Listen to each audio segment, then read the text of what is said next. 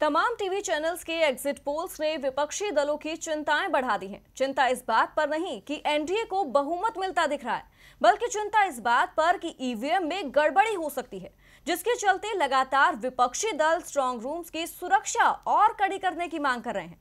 ऐसे में कई जगह से स्ट्रांग रूम्स के बाहर बवाल की खबरें भी सामने आई हैं। इस रिपोर्ट में देखिए। जितना बवाल और शोर लोकसभा चुनाव के सात चरणों में सुनाई दे रहा था, उससे ज़्यादा शोर अब ईवीएम विवाद के जिन ने मचा दिया है।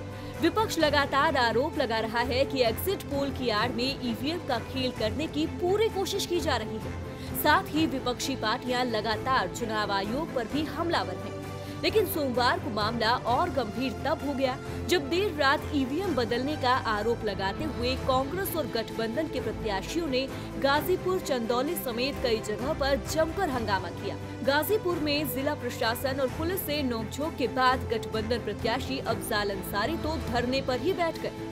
वहीं चंदौली में भी ईवीएम से छेड़छाड़ को लेकर बवाल मचा। मऊ में भी देर रात स्ट्रांग रूम के बाहर बवाल की खबरें सामने आई, जिसके बाद चुनाव आयोग ने उत्तर प्रदेश के गाजीपुर, चंदौली में हुई घटना पर सफ़ाई जारी की। आयोग ने सभी आरोपों को निराधार बताते हुए कहा कि सभी ईवीएम कड़ी सुरक्षा में हैं। चुनाव आयोग की तरफ़ से हर घटना पर अलग जवाब जारी किया गया है।